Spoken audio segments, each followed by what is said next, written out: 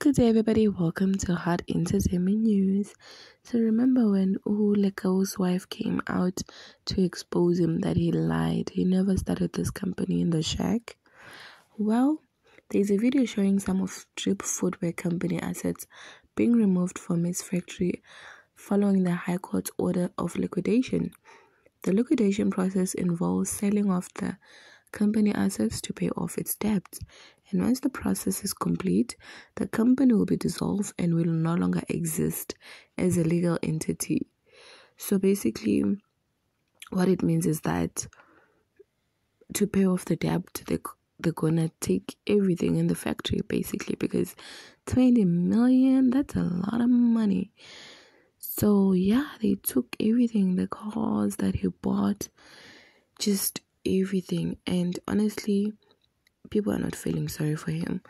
Some are blaming Cassper Nyovest because they kept having this partnership and he was spending money on Cassper Nyovest. Lots and lots of money. And he released this shoe to say it was never released. Um, it was he made it probably 1 12 2024 somebody said oh, ujesu ati you're not gonna get donations. You're gonna start the same way you started from the shack. So but he is not getting any donations. And coincidentally this came out just when his company went broke broke.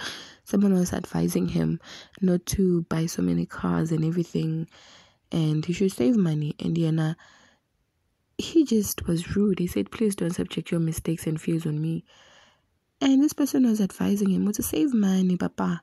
But Manje, Mr. Drip, you're in trouble. And nobody's gonna feel sorry for you because of what you did to your wife. So okay, I start from the beginning. Start from the shack. Let's see how you're gonna do this time without her.